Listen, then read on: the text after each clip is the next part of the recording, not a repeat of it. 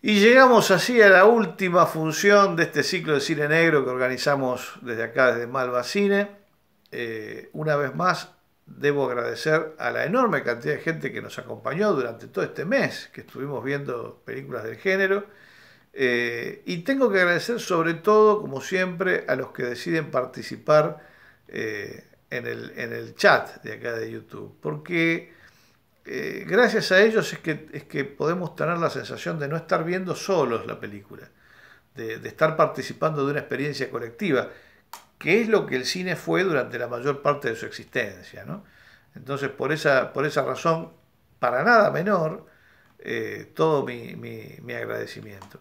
Y ya seguramente nos reencontraremos eh, en, en, otros, en otros ciclos futuros, porque por lo menos esta mitad de año, la sensación es que vamos a mantener los ciclos en la virtualidad.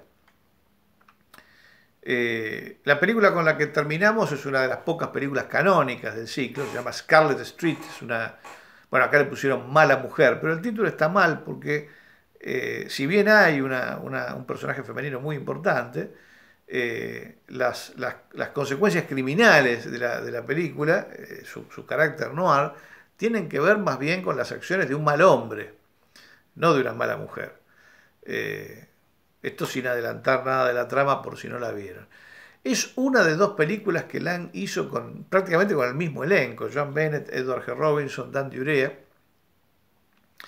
Eh, la otra es La Mujer del Cuadro, pero La Mujer del Cuadro, que durante muchos años fue el gran clásico noir de Lang, se resiente por un final imperdonable. Mientras que esta no, esta, esta tiene el final que tiene que tener. Eh, y, eso hace realmente la diferencia. Yo creo que con los años esta película ha quedado, eh, ha sido valorada mejor que La Mujer del Cuadro, es mi sensación por lo menos. Eh, es, notable la forma en la que Lang vuelve a, algunos tópicos de su periodo mudo sobre todo van a ver ustedes en el, final, eh, que, remite directamente a, momentos del doctor Mabuse, por ejemplo, eh, y por supuesto en su, en su uso virtuoso, de las luces y las sombras. Pero acá lo que importa fundamentalmente, toda la película está armada sobre eh, la actuación de Edward G. Robinson. Si ustedes lo vieron en Martes Trágico, al comienzo de este ciclo, lo vieron como lo conoció la mayor parte del público siempre, haciendo de gángster sin escrúpulos. ¿no? Eh, acá eh, van, a ver, van a poder comprobar ustedes lo, enorme actor que era por, el, tipo de caracterización que realiza y las, muchas sutilezas con las que enriquece esa, caracterización. Eh, esa es entonces la película con la que terminamos este, este ciclo de manera victoriosa, realmente estamos muy contentos.